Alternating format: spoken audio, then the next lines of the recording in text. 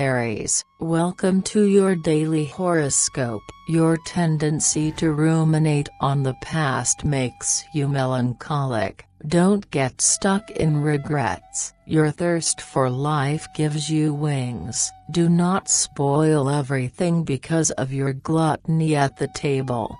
Be careful with excesses with food. The conflicts that prevail around you make you feel nauseated. Take time to reorient yourself in a calm environment. You won't have much free time today.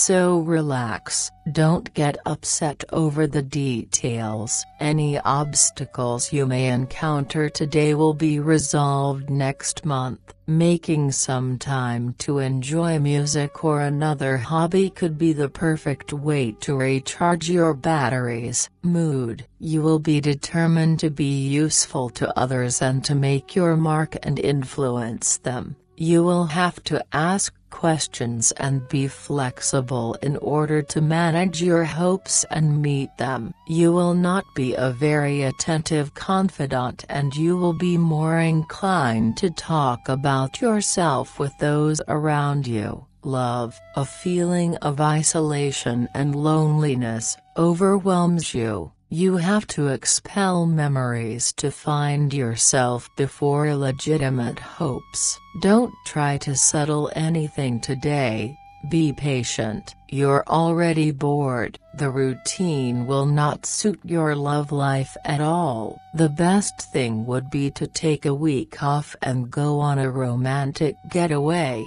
External circumstances take you out of your shell.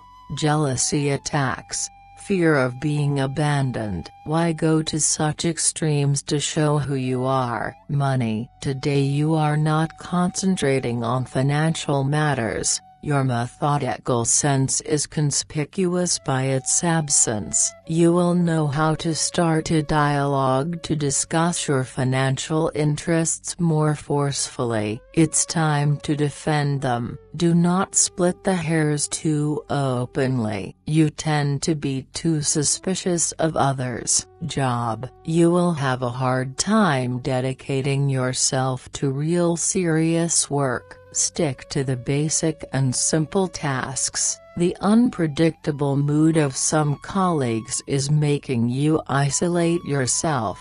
Try to help them, you need them and move forward with them. If you haven't already, get some rest. You will need a break from work. Have a nice day Aries, see you tomorrow.